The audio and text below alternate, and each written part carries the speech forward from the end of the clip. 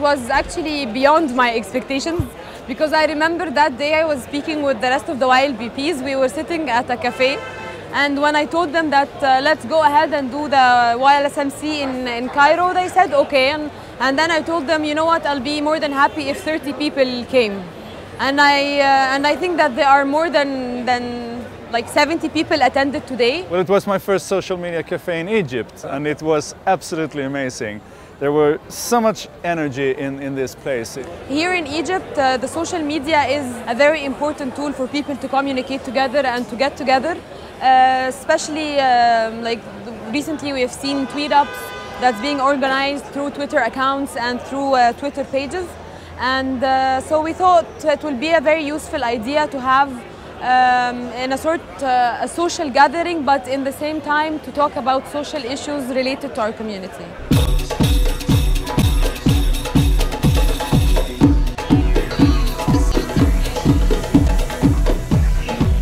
Social media cafe is important because it brings together the youth who are interested in social media and who are eager for social, for, uh, for social change.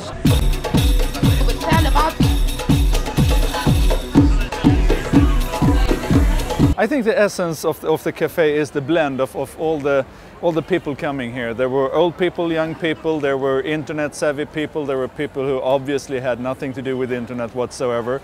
There was a bazaar, bazaar in the background and, and it's, it's just an amazing blend where everything seems to come together. After the launch in Beirut and Amman and now in Cairo, I believe that we are creating some sort of a sustainable uh, networking among those cities.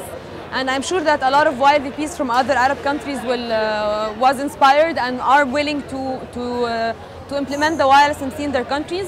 And I believe that this is going to build a very strong network that mobilizes the youth and um, increase their ability in uh, using social media for social change.